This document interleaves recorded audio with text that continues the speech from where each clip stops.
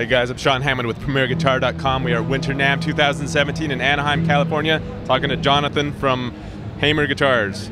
Jonathan, you guys have relaunched a sort of mid-level uh, Hamer model. Well, not just one model, a whole series, right? Yes, Hamer is back. For those of you that don't know, Hamer began in the 70s at a partnership between Paul Hamer and Joel Dantzig, and we brought it back this year with six new models. Here you're looking at the Standard. It's a classic, one of the first bodies that Hamer made. We have a the Vector V. We've got a couple Sunburst archtop double cutaway guitars, a single cutaway guitar with a P90, and a classic single cutaway. Six models in total things that make it different. You want to talk about things that make it different from? Yeah, I was just going to say, are the are there pretty standard features across all of them, or do they vary quite a bit?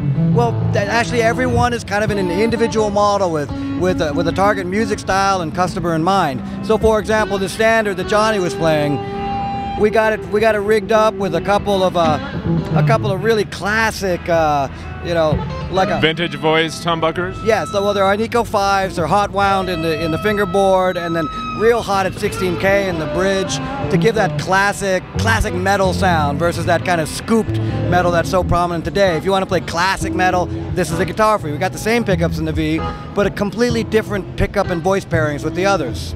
Okay. You so know, this one has the. Um, a uh, flamed maple top and is it mahogany on the back?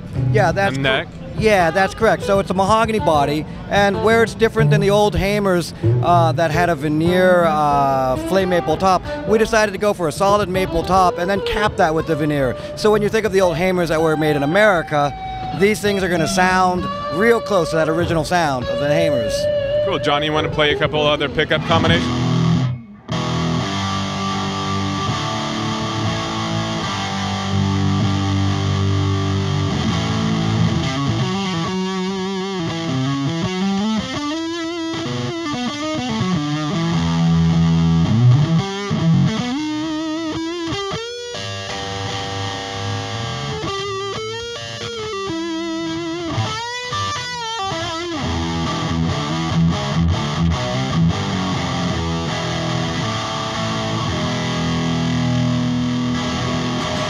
Sweet. Now, okay, so you said the the standard here and the vector have kind of the same pickup complement, and then there's sort of a, a, a LP juniorish one, right? Yeah. So the uh, the Special Junior, which is a solid mahogany block, has P90, so it sounds like a kind of a vintage guitar right out of the gate. And then if we look at our single cutaway Monaco, when we're thinking of that, we're thinking classic rock, a little bit of distortion, but if you want that classic rock and roll tones, that's what's in there. So we put two Alnico 2 pickups in there and, and overwound them, so they're they're they're really beefy, not really that metal, but rock and roll. Um, and then the, the double cutaways, the Sunburst arch tops, are modern versatile guitars. If we think of what people are looking for in a uh, figured maple top guitar, they're looking for versatility. And so we put a hot wound Alnico 2s in the bridge, but then, uh, I'm sorry, in the fingerboard, but then a ceramic running at 14 plus K in the back. So you can have real thick classic tones when you're up in the uh, fingerboard position, but if you do want to just chunk into that kind of scooped mid metal stuff, kick it to the bridge, fantastic sound. Um, in the Sunburst arch tops, we have uh, one that's with our traditional 24 and 3 quarter inch scale. The other one with the Wilkinson has a full 25 and a half inch scale, which also gives you another voice with all that extra tension and focus. So each one of these models suits a particular style of music and a style of player that we've matched kind of visually and sonically. So it's you know it's a really cool re-release of stuff here in Hamer. Cool. Tell us about the prices. Are they all kind of at the same level, or do they vary a bit? Uh, the, the ranges are $6.99 up to $7.99, so it's still pretty affordable for a highly quality thing. You know, Hamer was the original boutique company uh, back in the day, and we want to be the continuing boutique company by bringing like nice guitars, really, really well-built guitars, but also tonally matched for the music that uh, that we play today. And like you mentioned, you know, originally they were very boutique, and you know they had boutique prices. Um, or at least over the years as they developed, they became more boutiquey, and rightly so. They were amazing guitars. Um, but these are obviously much more affordable than those.